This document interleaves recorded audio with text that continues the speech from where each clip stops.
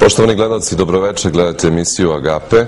Večeras ćemo govoriti o genijalnosti i to sa našim gostima, gospodinom profesorom Svetislavom M. Jarićem, filozofom i akademikom Akademije pronalazača i naučnika. Dobroveče i dobrodošli. Dobroveče i hvala na pozivu.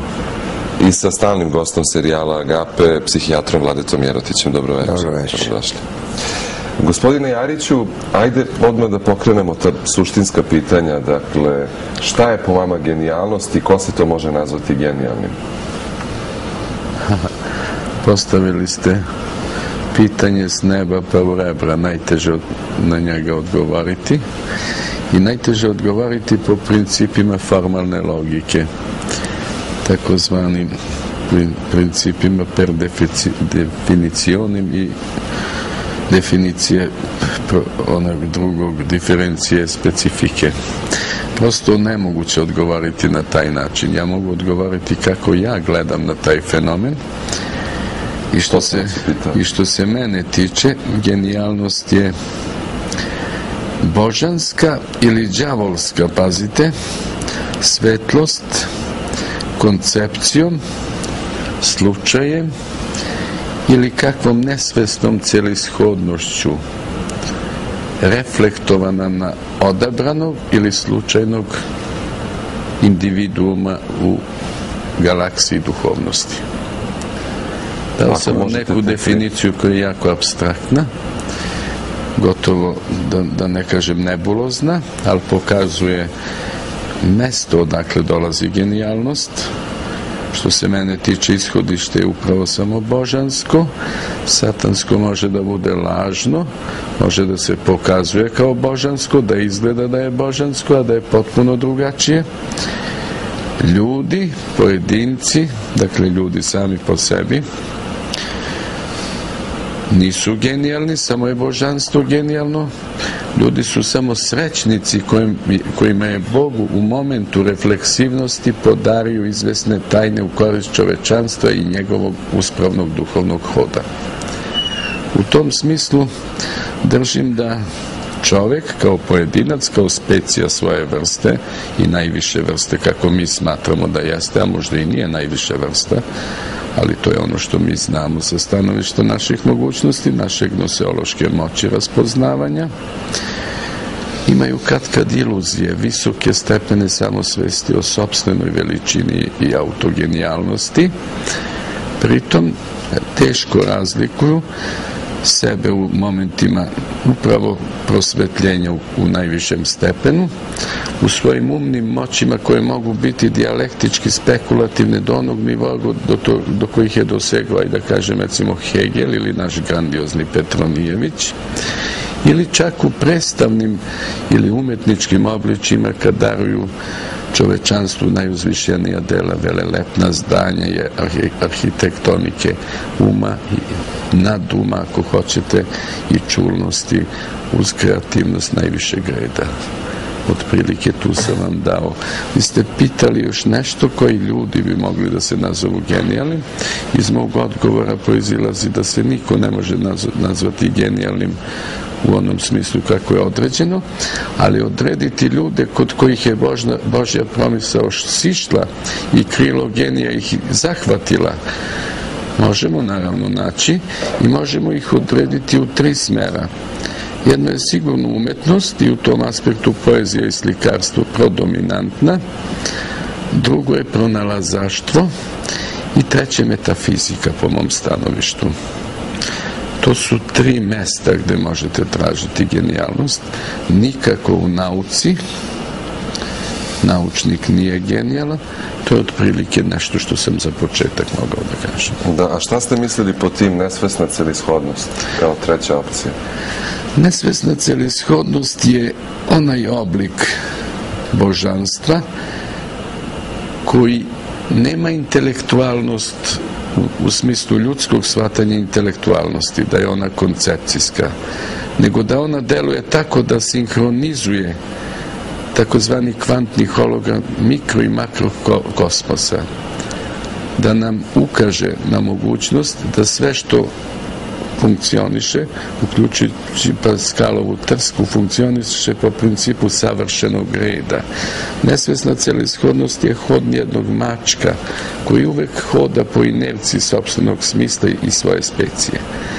Nesvesna celishodnost valja, kaže Bergson, izvan naših tokova mislenosti i kreće uvek u pravcu intuitivnosti, a ne naše intelektualnosti.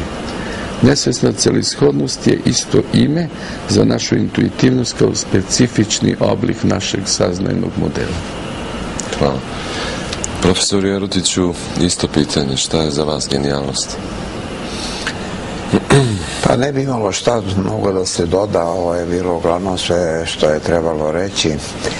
To je neka, neko posredništvo između čoveka i nebeskog sveta.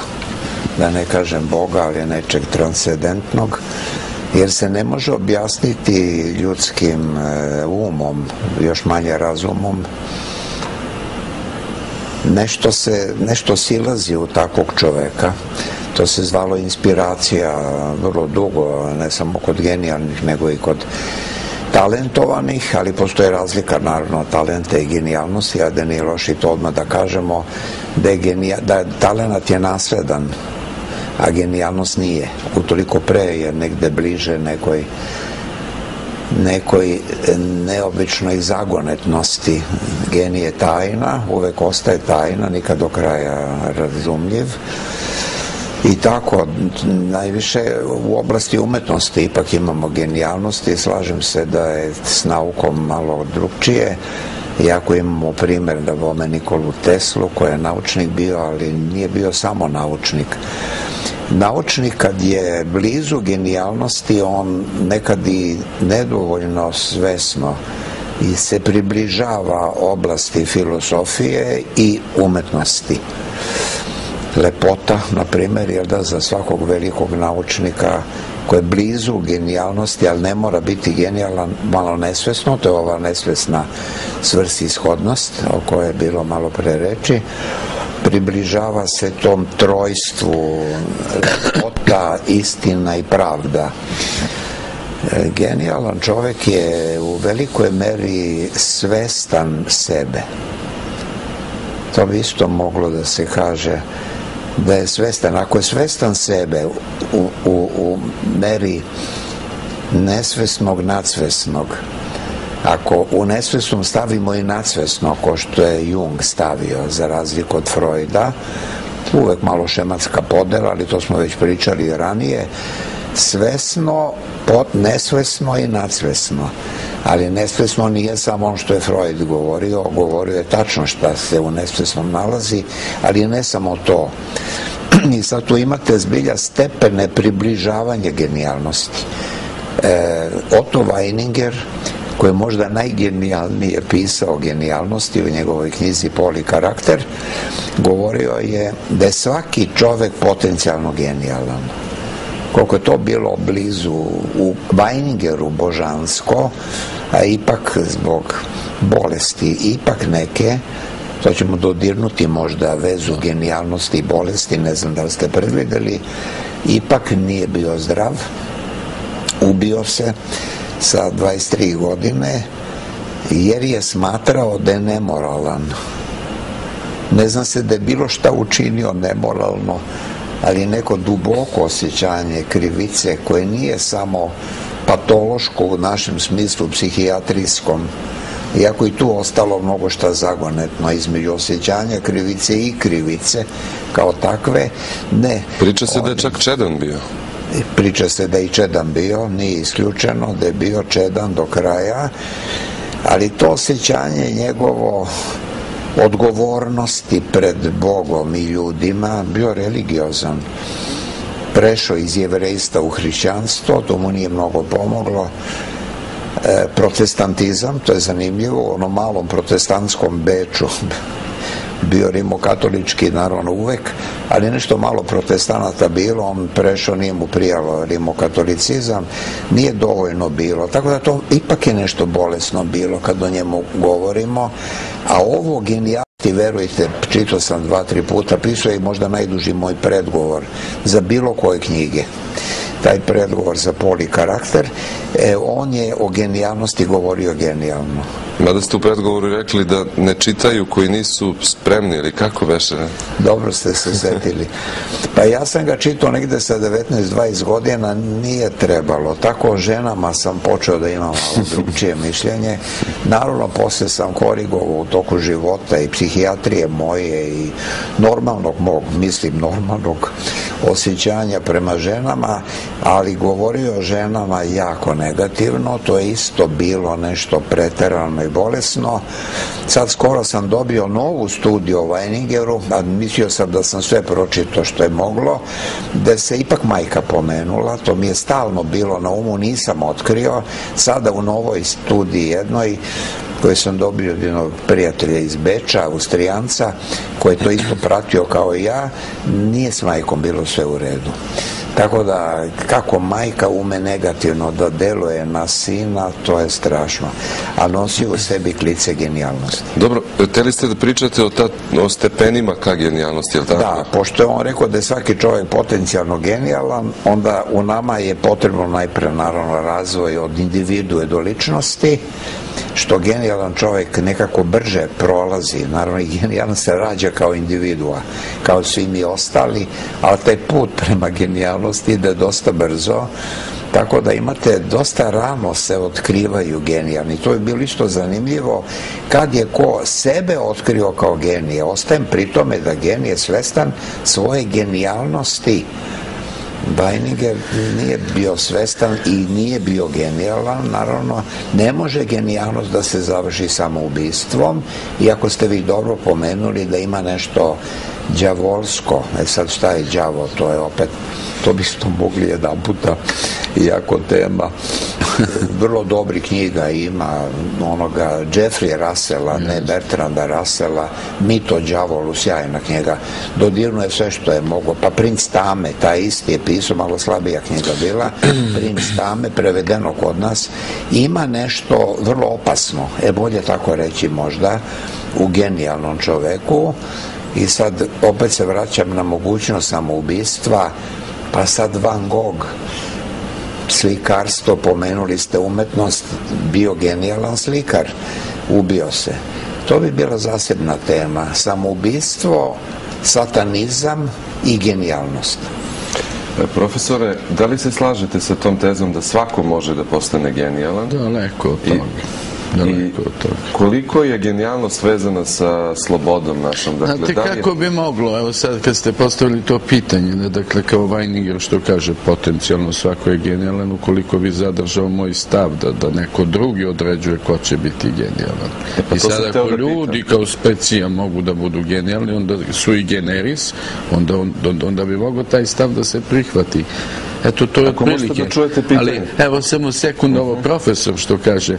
Znate, možda ste zaboravili šta kaže Weininger kad se ubija. Šta piše u oproštajnom pismu Bahovoj kući. Kad oseti kod sebe zločinca pristojan čovek, on se ubija, a razbojnik ubija drugog.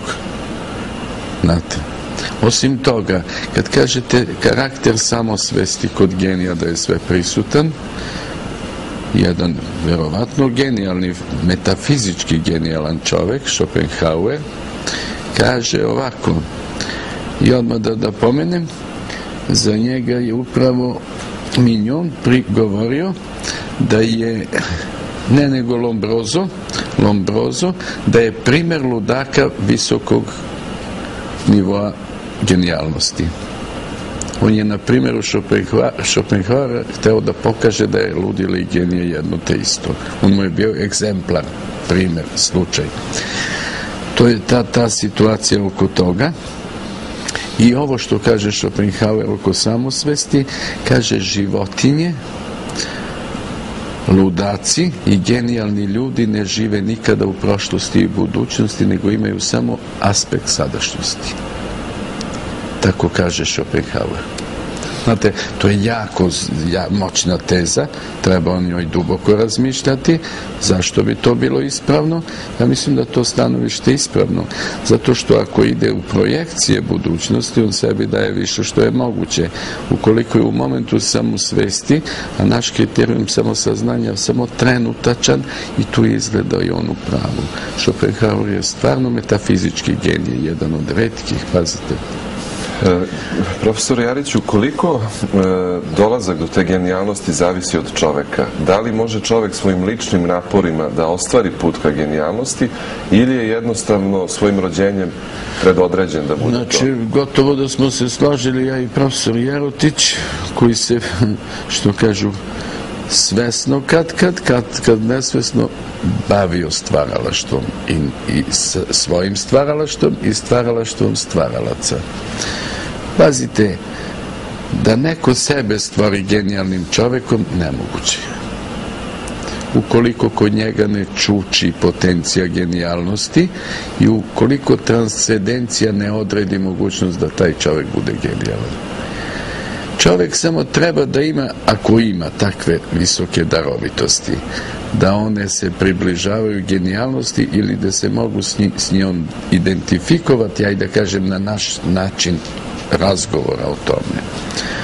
On treba da ima najuzvišeniji etički odnos prema svojim darovima i da svoje stvaralaštvo stvara upravo u aspektu svoje reputacije i svoje duhovne visine.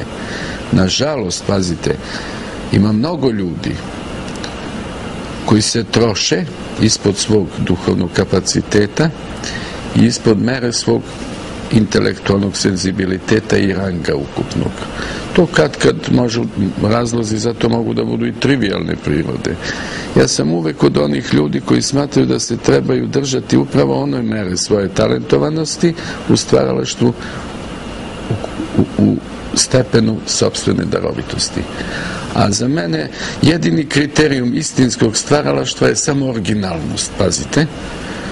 Dakle, samo originalnost, bolje su pet rečenice kod Wittgensteina nego skup svih Raselovih dela. Utoliko što su blesci, utoliko što su intuitivne refleksije božanstvenog tipa. Pritom to je, ajde da kažem, negator filozofije, jedna od najnegativnijih pojava 20. veka.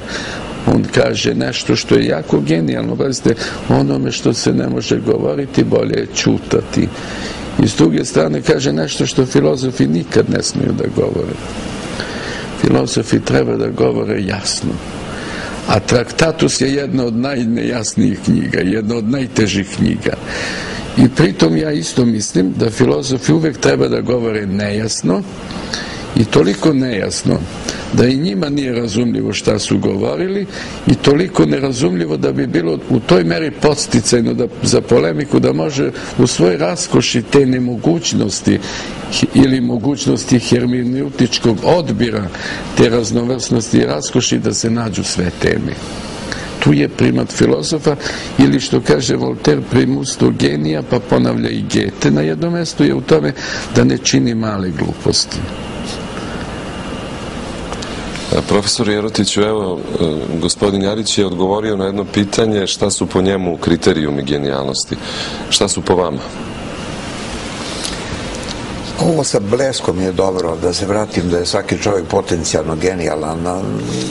Možda se ne složi čovjek da ima i razloga da se ne složi, ali vraćam se na individuaciju i oboženje onda svaki čovek nosi u sebi potencijalno Boga i božansko. Pa dato mu je, budite savršeni kao što je savršen Otac vaš nebeski, dato mu je da se približava uvek. Pa ni genije nije dotakao vrh nikad je najgenijalniji kao što su bili, a ipak da ih pomenemo Leonardo da Vinci, Goethe, e, Platon na izvestan način i meni ovo još veći nekako, sad to nije više veće i manje ni, ni dobro to tako razgovarati. Na različite načine se genije prikazuje. Dakle, genij ima u sebi samosvest u najvećem moguće meri, pošto ste pitali koji bi bili znaci genijalnosti, samosvest, pamćenje.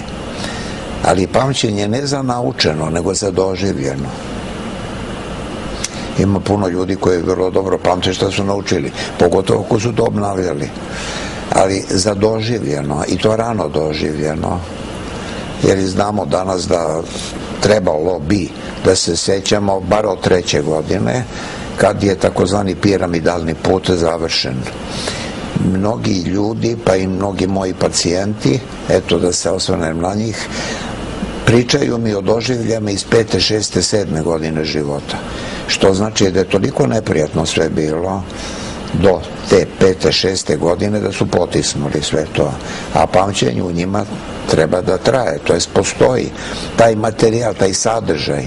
Naravno, danas prenatalna psihologija nas uverava da je pamćenje moguće daleko ranije a nekad je stvoren piramidalni put, meni to izgleda ubedljivo, tako da se može, a eto i to je put ka genijalnosti ili put ka savršenstvu, da se setimo i genijalni ljudi su u stanju da se sete, ne mogu sad sve primere da vam navedem, koji bi se setio da se sećaju doživljenog iz druge, treće godine života duboka hipnoza, to je sad meni još uvijek sumnjivo, kažu da može iz prve godine da izvuče sećanja. Šta bi još bilo merilo genijalnosti?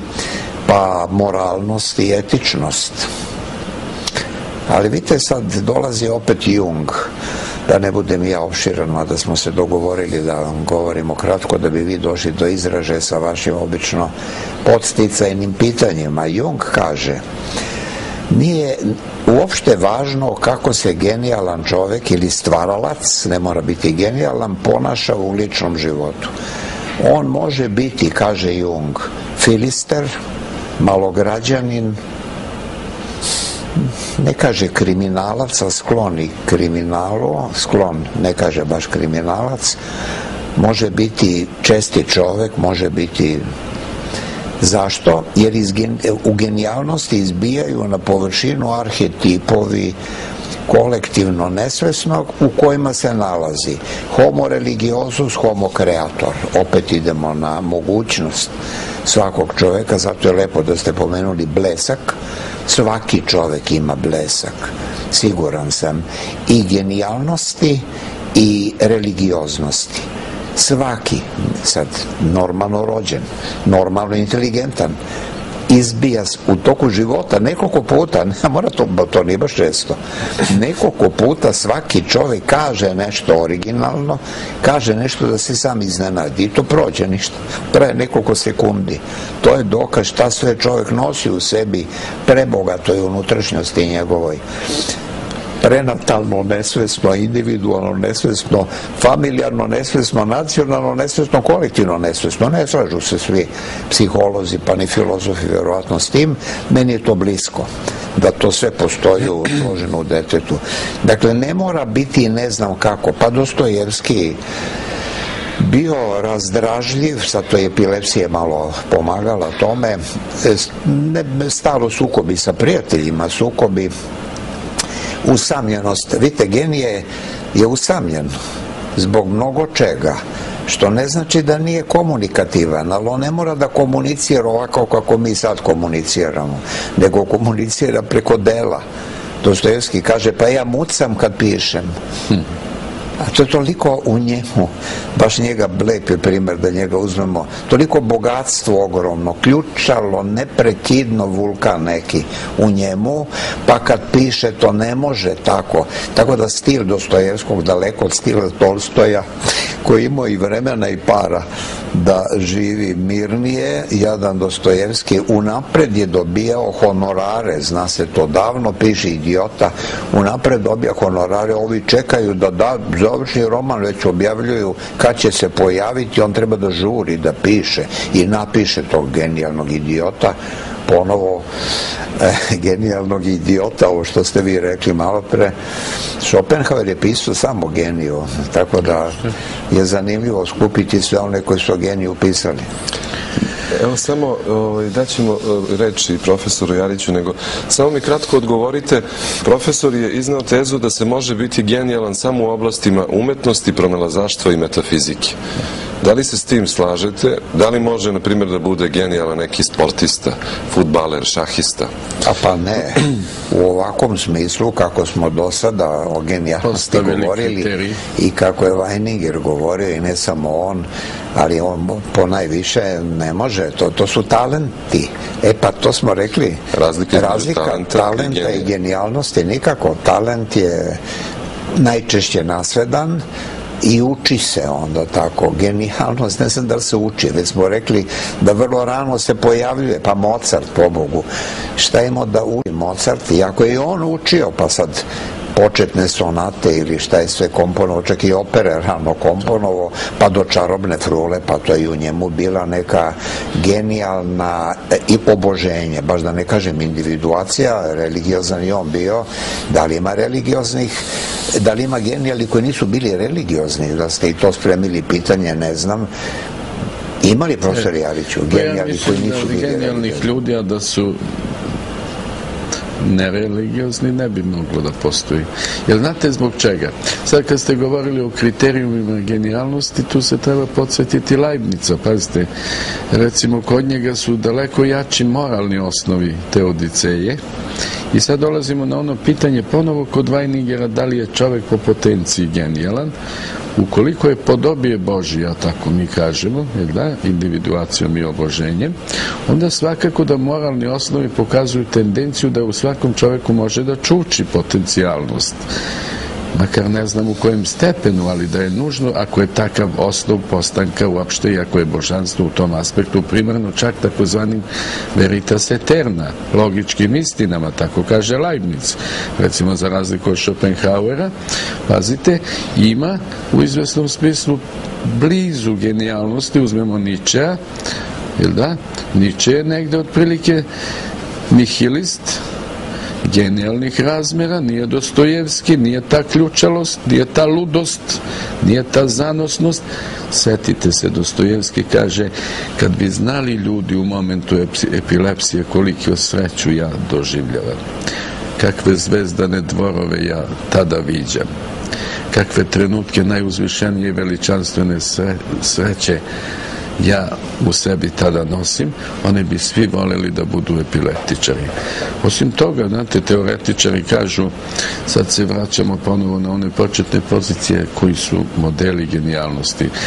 Ču, čuvena izreka Heraklita ek vidi sanus halicone poetas nešto đavolsko uvek ima u poeziji u, u pesticima Platon to pominje i obrazlože. Pazite taki, ra- i tako racionalan mislilac kao, kao ovaj Aristotel gledajte, to svi ponavljaju redki su primjeri da kažu da, poezi, da poezija traži smirenost ne inspirativnu zan, inspirativni zanos.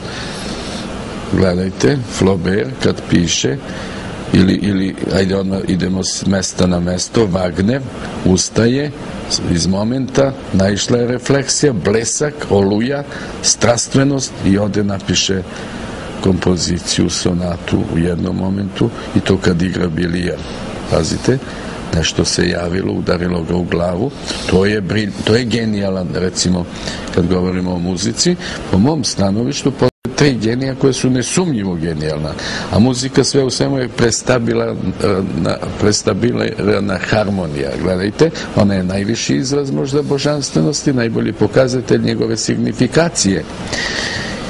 Mozart, kako kaže profesor, autodidakt, dakle ništa nije naučio, to što je uzeo da mu treba nešto i da nije pipno, isto bi bilo, dakle genijalan je u, u potpunosti, to je Wagner, gledajte, pogledajte biografiju njegovu, koliko brzo je sve savladao sa tog formalnog stanovišta, kakva monumentalna dela je dao, bolesna, razume se u mnogim aspektima, i Šostaković, setite se.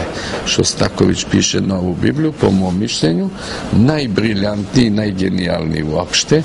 Dakle, Šostaković je Sveto Božić isto smatra da je on neverovatnih razmera, ta njegova simfonija u novom veku i on je rekao bacite sve u smetlište, ovo je nova Biblija muzike, sve do sad ništa nije vredelo. I tu dolazimo i do jednog kriterijuma, da, da, ja bi se tu složio sa profesorom.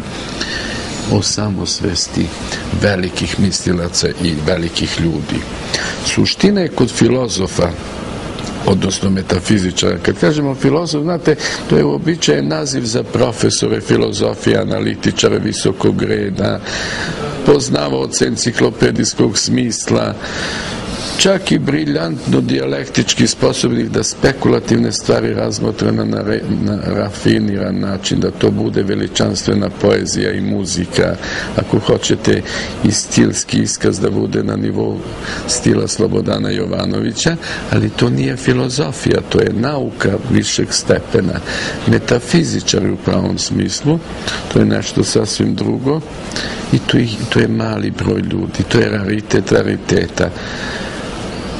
To, to su kao dijamanti, dragulji u prirodi, najmanje ih ima, najteže doći do tog kriterijuma.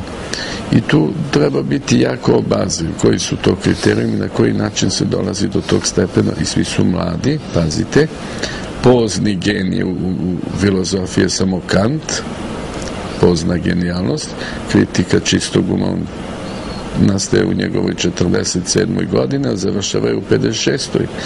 Pazite, Schopenhauer u 29. piše Sveti volju i predstavu.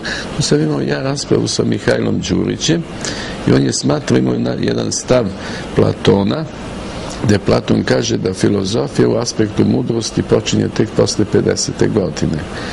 To je ona prva filozofija o kojoj sam malo pregovorio, ali in, intuitivna, refleksivna, metafizički genijalna filozofija je produkcija mlade genijalnosti. To vam je Hume, to vam je Berkeley, to vam je Spinoza, To su svi najveći mislioci svih vremena i naroda završili ispod 30. godina u svoja monumentalna dela. Dakle, kao i u poeziji, zanos poetike i poezije zbog toga rano ovaj, stradaju, vrlo brzo završavaju, zato što je to trans jedan jel da? Eksplozija strasti, uzvišenih osjećanja, eksplozija sposobnosti i kolaps Najčešće je to mentalni kolaps, da napravim jednu paralelu, možda je Fischer genijalan, iako nismo odredili taj kriterijum, pazite, tu je kombinatorika uma, tu su invencije visokog stepena, tu je pamćenje briljantno, što kažete, ne samo pamćenje koje se pamti, nego i doživljeno pamćenje, kombinatorika i geometrijskog i algebarskog tipa, monumentalna mogućnost profetske vizije mogućeg izbora i gledajte, posle pobede nad Spaskim on kolabira. Isto se dešava sa Miljkovićem. Ostavimo se mi sad dileme njegovog završetka, ali kad stvori monumentalno delo stvaralac i kad vidi da je to završetak njegovog opusa i njegove misije, verovatno da kod njega nailazi do kolapsa takvih razmera, da on postaje normalan čovek. A za genija postati normalno isto kao samoubistvo. To više nije taj čovek. Tako da tu e, Profesore, e, kada govorimo o genijalnosti, ko su te ličnosti u istoriji koje su po vama dotakle vrhove? Koga izdvajate? Pa evo, malo bi smo rekli Leonardo da Vinci, Goethe, e, Wagner, e, od Vajnige, opet se na njega vraćamo, smatraju Isusa Hrista je smatrao Weininger da je u centru svega, nije rekao genijalan to, ali a odmah posle Isusa Hrista stavljao Wagnera. E, mislim da je Wagner genijalan bio. Iako su podeljena mišljenja odavno, Wagnerijanci i anti-Wagnerijanci, bilo je i značajnih ljudi u našoj sredini koji nisu Wagnera.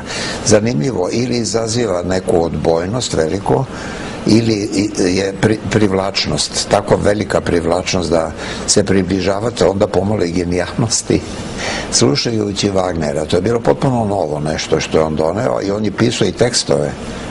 Tako da imate individuaciju kod Wagnera veliko. On je počeo sa prstenom Nibelunga, znači nemačkom germanskim mitom, pa preko Lohengrina Tannhäusera približava se hrišćanstvu i završava sa sjajnim Parsifalom koji se izvodi na veliki petak e, u velikim operskim kućama i dan danas. E, Wagner je bio neobičan život lični, ali vi opet se na to vraćam. Ne treba se toliko obazirati možda na lični život.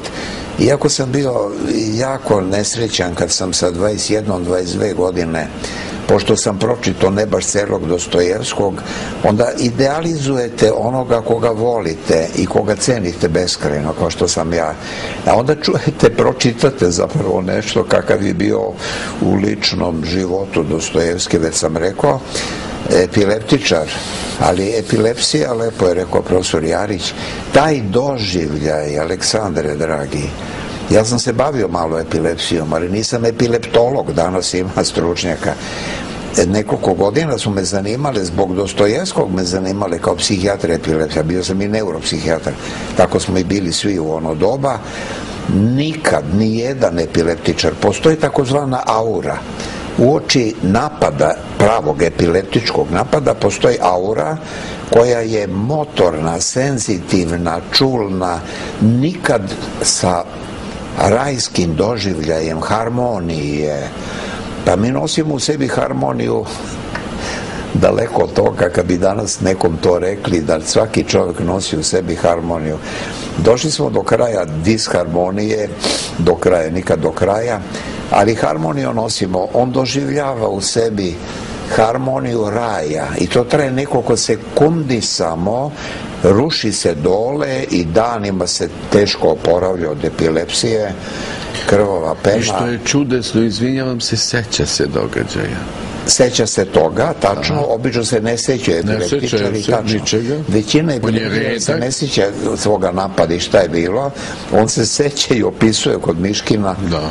i još Kirilova koje ono još imao, opisuje taj napad. To je nevjerovatno, tako da su se francuski epileptolozi su se najviše bavili, to dosta dobro, Gasto, bavili su se Dostojevskim i stajali su pred tajnom e, objašnjavajući pomalo na jungovski način da on oživljavao arhetip celine homo religiozus kao arhetip celine kroz rajski doživljaj u oči napada. Možete misliti. Slažem se i sa profesorom Jarićem, sa Šostakovićem. Hvala da ste ga pomenuli. Sad genijalan, dobro, opet smo tu negde na ivici šta je genijalno, šta nije.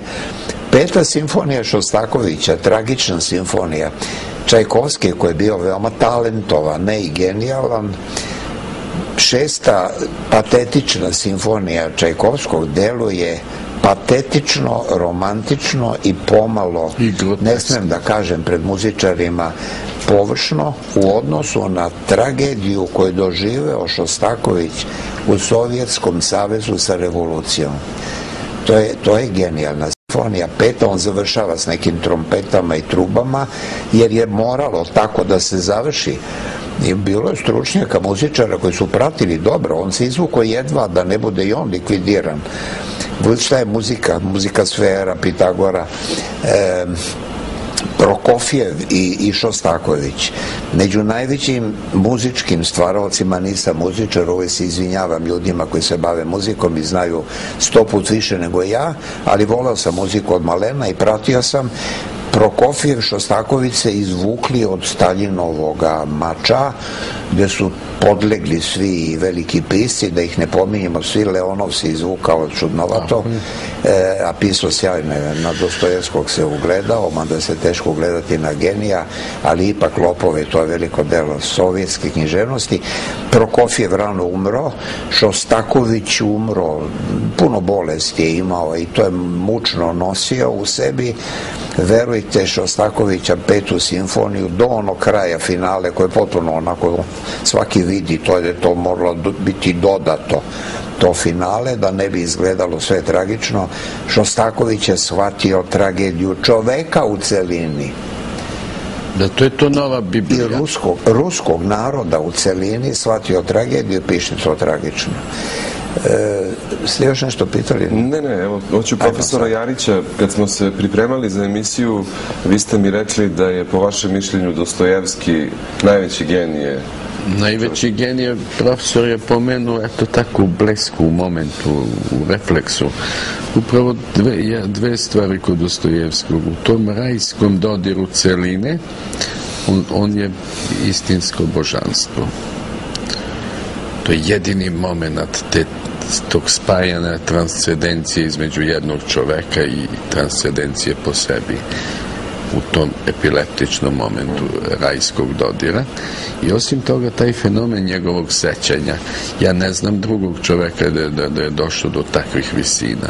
Utoliko je po mojim kriterijima Dostojevski vrh na vrhovima.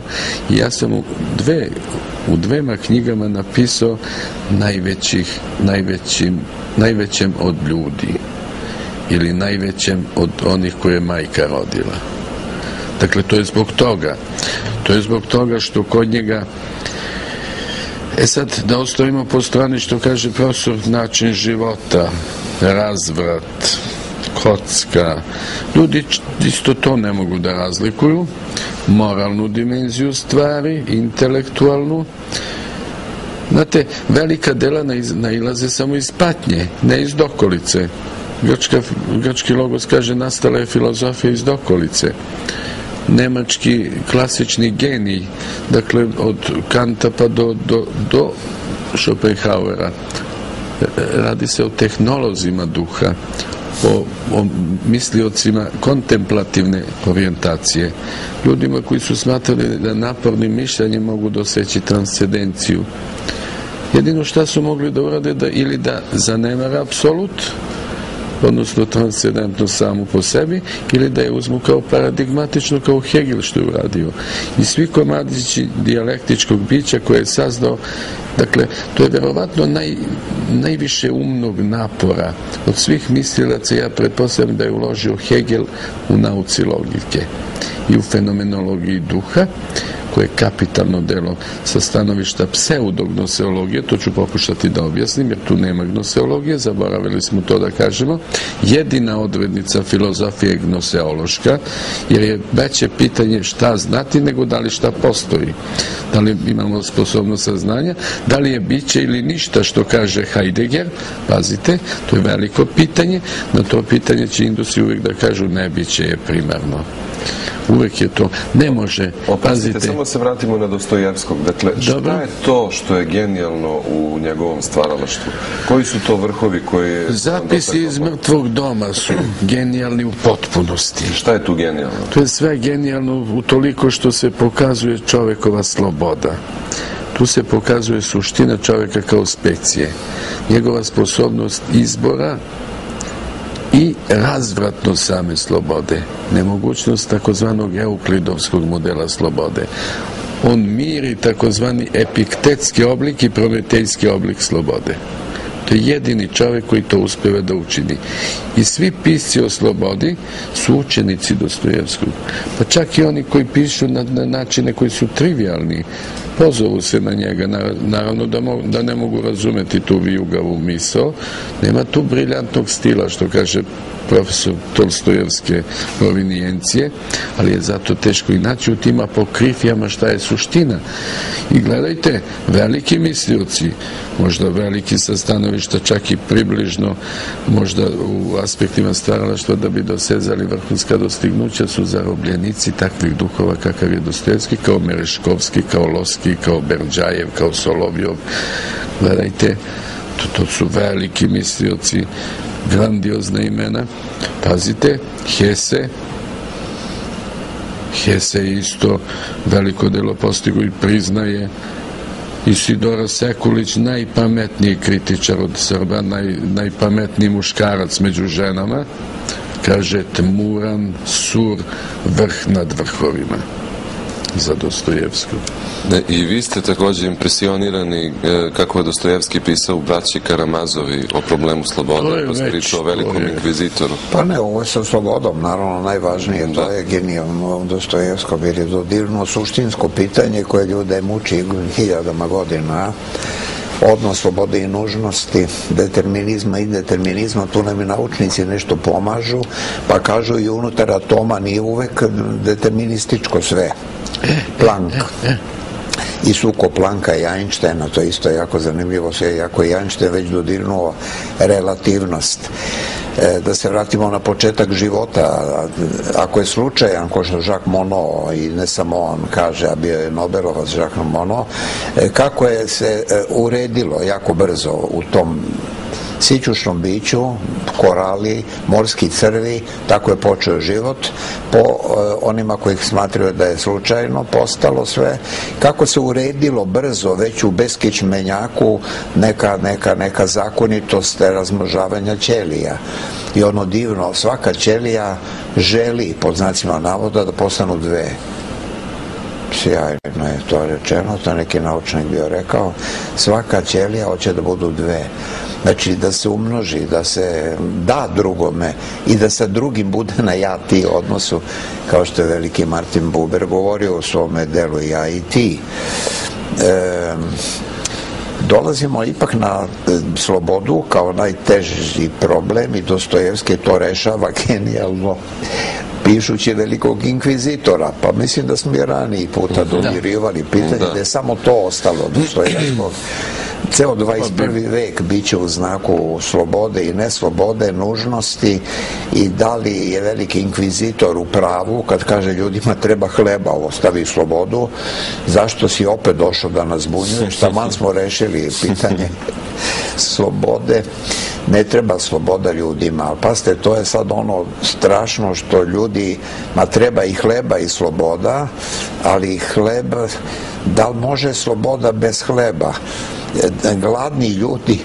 Pa dobro i Dostojevski je povremeno toliko materijalno bedi bio da je skoro gladovao, a ipak pisao i to je neverovatno u njemu, ali ljudima treba hleba, umiru od gladi, ko što znamo dobro svakog minuta, ne znam koliko dece, ne možeš ni to tek tako zanemariti, zato i ostaje problem slobode večni problem, jer sad ne mogu ni siti treba malo ljudima hrane da bi mogli u sebi razvijati te potencijale prema božanstvu, da ne kažemo genijalnosti, a to nam je Bog i dao isto, da se razvijamo. Ali moraš bar malo dati, a ne za sitost i glad su opasnosti za slobodu. Ne može ni sit ni gladan da ima uopšte podstice da razvije u sebi genijalno stvaralaštvo individuacije oboženje. Sad ću vam reći nešto, evo ovako, kad profesor pa onda to bude, što kažu i, na terenu, na izgled površnih stvari, kako izgleda, gledajte, kod, kod ovaj Dostojevskog, koji je, pa da gajem, otac sve psihijatri. Svi pravci su proizišli iz njegovih dela. Dakle, digresivno manje ili više, direktno ili indirektno. Redak je primjer mislioca, Freud, ukoliko bi bio iskren, ne samo Šarkija, mogo bih, te, tu, je Nietzsche pošten, pazite, on je redka poštenjačina, on najcrnje piše o Sokratu, o Platonu, o, o Schopenhaueru kasnije, o Wagneru, o velikanima ljudskog roda, a kaže ima jedan najdublji čovek, daleko dublji od samoga dana, to kad piše i Zaratustu, na njega misli, kad mu posvećuje onu knjigu, to se ne zna, na Dostojevskog, ali druga stvar, i takozvani kvant, pazite sad, dolazimo do suštinskog određenja suštine božanstvenosti i genijalnosti i slobode. Božanstvo je ljubav i lepota i sloboda, pazite, kvant je slobodan uvek. Kako će reagovati? Da li kao talas ili kao čestica? On to učini. Dakle, kad kažem on, kažem o sa velikim slovom. To je kriterijum božanstva. Je li onaj kriterijum o besmrtnosti duše o kojima si me ti pitao na jednom mestu? Drugi zakon termodinamike daje nam mogućnost krajnjeg optimizma i primarnosti upravo našeg oblika religioznosti. Taj zakon kaže da energija sama po sebi neuništiva, uvek univerzalno prestabilirana ili što kaže Aristotel van svetska substancija, pazite, антиматерија и материја увек е синхронизована Хайзенберг, брилјантни Хайзенберг, можда научник трансценденција као такав филозоф и као филозоф он да генијален. Ајнштајн тешко да долази до генијалности затоа што се затвара у круг теорија релативности. Ne ulazi, ne zalazi u dubine smisla i besmisla. Pokušava da da odgovore su, koji su signifikacije scientifikovane nauke. Utoliko Heisenberg tuče taj postulat, utoliko tuče euklidovski model duha, princip neodređenosti, pazite, opovrgavanja je princip, u stvari princip slobode. I kvant je osnovni kriterijum božanske svetlosti, božanskog smisla u gotovo materijalno-energetskom smislu. Ovo bi bilo sad dopunjavanje međusobno, naravno, jako dobro. Sad je značajno Kratko bilo sam, reći o... druga pitanja. Značajno je bilo reći o skrovištu, a ne pribežištu. Držao sam skoro predavanje, jer čovek ne treba da traži skrovište, nego pribežište. A skrovišta su zatvoreni sistemi, to je vrlo važno značajno. I za individuaciju, i za oboženje, i za put prema božanstvu, odnosno genijalnosti. Uvek otvoreni. A ne može jadan čovjek da bude uvek otvoren, on se zatvara neprekidno, mnogo čime se zatvara i pre svega ideologijom. Religija nije ideologija, ni hrišćanstvo nije ideologija, nego transistorijska istina, ali može postati ideologija. Jer se sa svim može manipulisati i sve se može izopačiti, ko što izopačuje. Koliko može čovek da ostane otvoren, toliko je bliže neprekidnom trudu svom ličnom i Božja milost ka stvaralaštvu. A ljudi se zatvaraju u sisteme i ideologije i mnogo je bilo čak i filozofa i tačno je to, pa čak i Kant na neki način Schopenhauer zatvoriš u sistem veoma talentovani, da ne kažemo genijalni, mada Kant da li je bio genijalan, jer vi ste pitali šta spada u genijalnost, pa smo sa umetnošću se složili, sigurno sport ne, E, to su samo, samo talentovani, to baš ne tako često, e, nego umetnost, e, religija, religiozni ljudi, nismo pomenuli ljudi koji vode religiju, religioznu misao, Buda, svakako? Buda, Budini govori, proroci. to su genijalni govori, čito ja na nemačkom jeziku, Lao Tse, vidite, postoji agnostička religija, to je taoizam i budizam, je. to je Čak neobično. te, ateistička po nekim Čak ponekad pa, Pajin je sklon da kaže da je, nije Lao Tse baš toliko. Ne, ali ipak je ono bilo mom- na momente genijalno što je Lao. Tse. A pisao sam onako drsko o njemu i nalazio skoro iste reči kao iz Evanđelja. Iste reči kod Lao Tsea. Nikakve veze nisu imali od ozgo i kod jednog i kod drugog. Lao Tse, Buda, to su sve logospermatikos. Sveti Justin, filozof, stalno ga pominjemo, drugi vek posle Hrista, govori, sve su to logos, o Sokratu isto govori, logos spermatikos Platona isto, spremanje za, pošto je bio hrišćanin, Justin spremanje za e, Hrista. E sad, to je centralno, da je Hristos u centru istorije. Evo imamo još oko pet minuta do kraja emisije. Volio bih da popričamo o geni- genijalnim ljudima sa ovih prostora. I odmah se nameće kao prva ličnost Nikola Tesla, a, i red je pomenuti da evo za tri dana, on je dakle na Božić e, se upokojio, za tri dana je godišnjica njegove smrti. Da li je Nikola Tesla bio genijalan? Evo, za kraj ćemo ostaviti profesoru Jariću koji zna više od mene mnogo o Tesli, a ja ću reći samo nešto, pa onda on neka završi. Nikola Tesla je bio genijalan, iako je bio pronalazač ili naučnik, jer dodirivao je, možda i nesvesno, iako je sad to protivrečno, genijalno je vrhunsko svesno, rekli smo samo sve svesno, dodirivao i lepotu, lepota će spasti svet, ipak da kažemo kad smo o Dostojevskom toliko govorili, podrazumevalo ste malo pre kad ste o njemu govorili da je to tako, da je to značajno što je on rekao, Ključna odrednica, da. filozofiju takođe, kako da nije Tesla, nije bio filozof, ali ga je jako zanimala filozofija i Leibnicova, pred kraj života budistička, filozofija ga zanimala, tako da je Tesla, gledajte, e, šta je vizija? Pisao sam mistička stanja viziji i bolesti.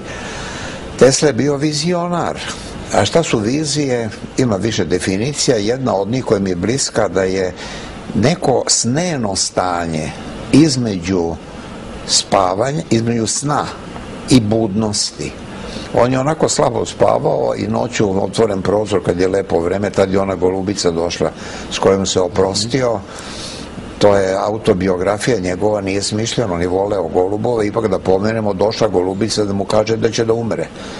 njegova golubica i on s njom razgovara i ono je potpuno ludo, predivno. U trenutku kada ona zbilja tu ugine na, na stolu, blesak svetlosti iz njenih očiju. Pa to možda se kaže blesak iz njegovih očiju prema golubici, ali ne, svetlost je prisutna, vi ste onako o životinjama lepo govorili, pod, posjećajući na vezu, na vezu, da, da, ma ne pa životinje imaju dušu naravno, ali čovjek ima duh, Aristotel isto on govori o duši, e, animalnoj duši, istina ili nižoj duši.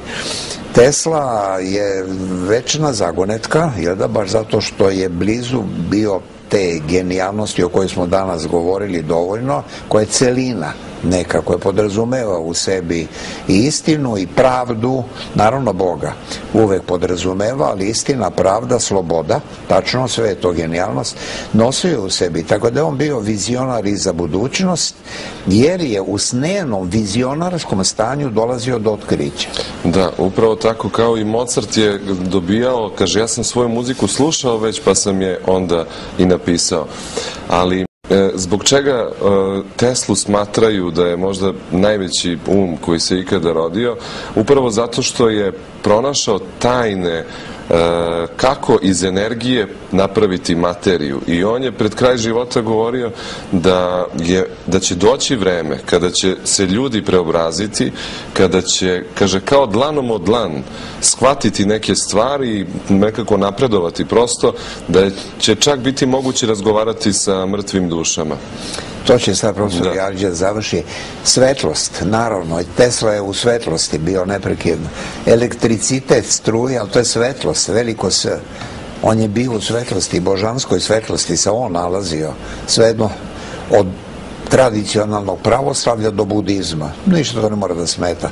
To je svuda bio put, svetlost, on je bio se, tražio svetlost, predviđao ovo, e sad to predviđanje, predviđali puno velikih drugih ljudi da će doći ipak neko vreme mira, pravde. E, genijalni ljudi su imali tu želju negde veliku u sebi nosili, da će Bog dati neko vreme pravde. Čak i u apokalipsi Jovanom otkrivenju imate to e, hiljadu godina, koje se različito tumači, većina, čak, čak i pravoslavnih, ne prihvata da će biti ikad pravde. Hristos nije govorio o pravdi na zemlji, ali evo da čujemo profesora Jarića.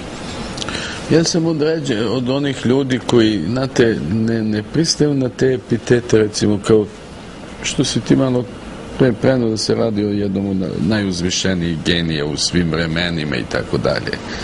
Moguće je, što kaže profesor, da tu ima takvog odnosa sna i jave da se ne zna to je zen budizam, pazite, da nemate kriterijum kad ste u snu, kad ste na javi. Moguće ta halucinantna stanja čak da budu. Ono što je fascinantno kod njega kad on opisuje u svojoj autobiografiji, u što ja teško mogu i poverovati, ali ako se radi o raritetu, a jeste raritet, da je moguće.